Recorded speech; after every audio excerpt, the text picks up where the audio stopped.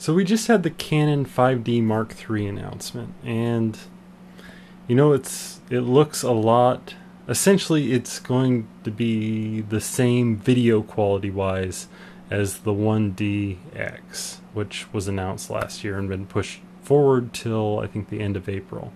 So um, I don't think people are going to be as excited about this release in terms of video features. I mean, the lack of higher frame rate modes at 1080p now. I mean, it's essentially the same as the 7D was, what, in 2009, 720p at 50 and 60 frames per second.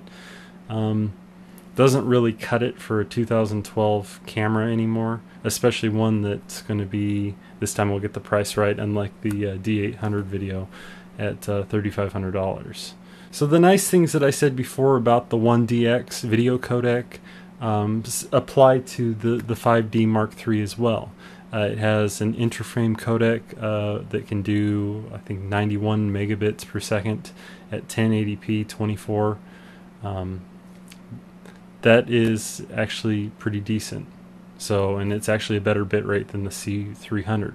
Now, the problem before with the 5D Mark II and the 7D and the uh, all the other Canon cameras wasn't that it didn't have enough bitrate. There wasn't the actual resolution there that you needed a higher bitrate. So the, the 7D and 5D were more like uh, 720p pictures uh, expanded out to 1080p. So it's going to remain to be seen whether or not that's been improved on this model. Hopefully, since the moire is mostly fixed, then that that's actually the case, that it's actually a 1080p model and uh, for some users that could be a fairly large upgrade. Uh, unfortunately, reports are saying that the HDMI out of the camera isn't clean, so it's not going to be usable for recording.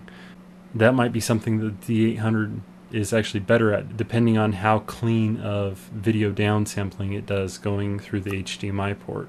So essentially, what I'm saying is we have a uh, kind of a turtle race between video features on these full frame cameras.